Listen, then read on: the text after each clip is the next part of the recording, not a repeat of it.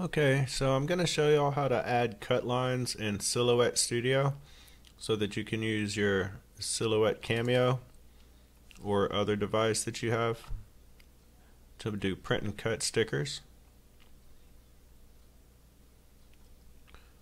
Oops, I already have it open here. I forgot. Sorry about that. So you want to open up whatever image you want to use onto the page.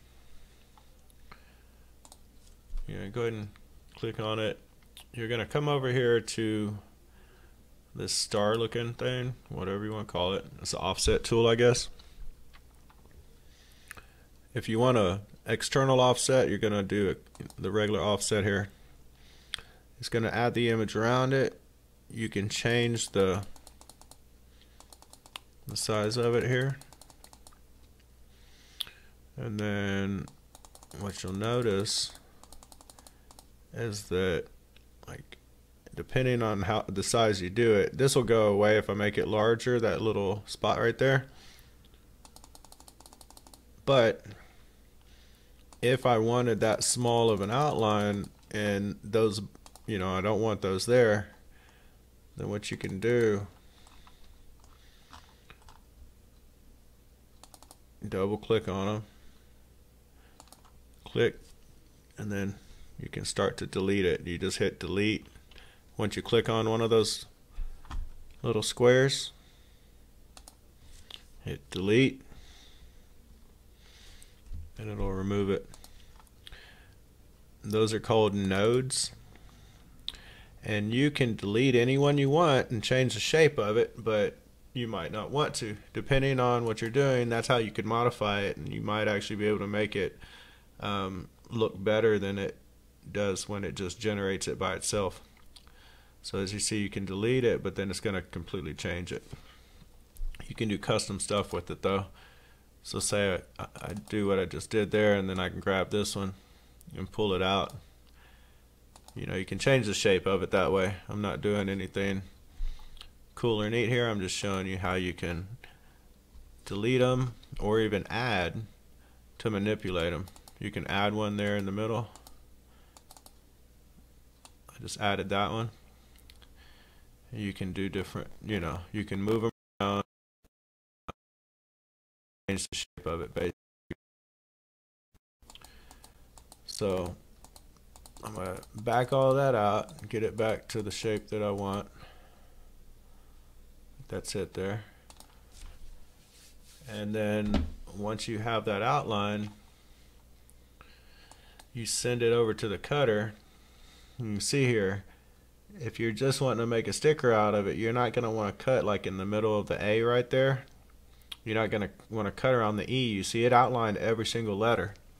You don't want that. So over here on the right where it says simple, line, or fill, you want to click on line.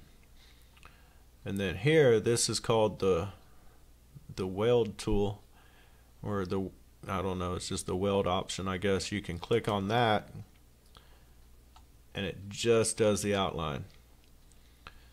So once you have it like that, like whatever this looks like on the display and however you have it set up here is how it's going to cut it. These are your different tools. You're not using a number two tool unless you're using that second option, that the second blade carrier on the actual uh, cameo. So it's always going to be number one. And then you want to have it set to whatever depth, whatever presets you have here. So, um, sorry, I have to turn on my machine before it's going to show the different options. I'll be right back.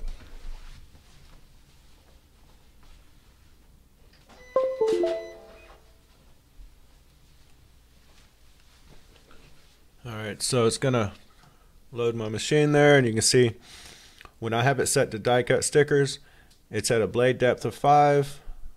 It's going to go two passes, so it's going to go around the outline two different times. And then it's going to use a pressure or force of 33 and it's going to be speed of 4. That's die cut, meaning it's going to cut completely through the backing paper and everything. If I wanted to do what I refer to as just my laminated stickers. Um, that's just how I have it labeled in here so I can di differentiate the two. That's only going to cut through the sticker and the laminate. It's not going to cut through the backing. So you can pull the whole, basically what I would call the matrix off the top and it's still going to have the backing paper. So you could have a whole sheet of these and cut them all and then just pull the top layer off basically and then have a whole sticker sheet on one page. So oops. That's the other thing to know here okay? So so that that doesn't happen. What you want to do is you want to group the outline and the image together you can hit you can click on just one of those either one hit control and A for control all. It's going to select everything on the page and group it you know and you want to group it together basically. So group it. Now when you move it it's all going to move together. And then you need to add the registration marks on the page. I should have told you that from the beginning so you do that by clicking on the page setting over here page setup click on this box on the far right and then you click on for registration marks. I always go as wide as I can on the marks. It doesn't change the position of the marks, it just makes them wider. And then that's good for that. You want to position this where it's not touching any of that line. Now I can be up in up in here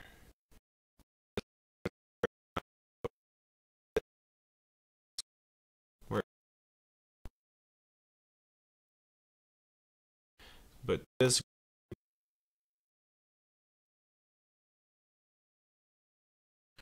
so I control to the right now they're touching there and you don't want them touching so you want to move it to the right a little bit more and I can do that with the arrow so that it separates it out.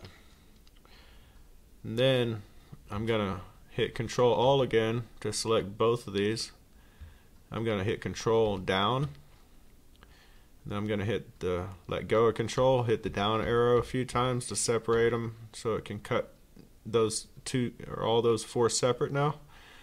I'm gonna hit control all again sorry I don't need to hit control all because it doesn't have enough room for that I'm gonna hit that that one right there I'm gonna hit select and then select the next one. I'm to hit control down. Now you can just copy and paste all these, but you can use the control with the arrows and move it around. Hit control all. I'm going to come up here. I'm going to use this little tool right here and that's going to center everything in the middle of the page. I always like to do that because if something gets offline or something gets messed up, I know that I can just put it back in the center of the page and everything sh should be fine. I'm going to save that. Now, I already have one saved right here. That's a different version. So I'm not really going to save it because I don't need to. But you get the idea. These are smaller ones than what I normally print, and that's why I can fit more on this page. So from that point, you can go and send it to the cutter and that's going up here to the far right corner. Hit send. As you can see it has a separate outline for all of them. It is kind of close here in the middle. You want to look at this preview. It is kind of cl close in the middle. I think it'd be okay but I'm gonna separate those out a little bit more. I don't like how close it is so I'm just gonna hit I'm just gonna like select all of these on the far right and then use the arrow to move them over so I have a bigger separation now I'm to center all these in the middle of the page again.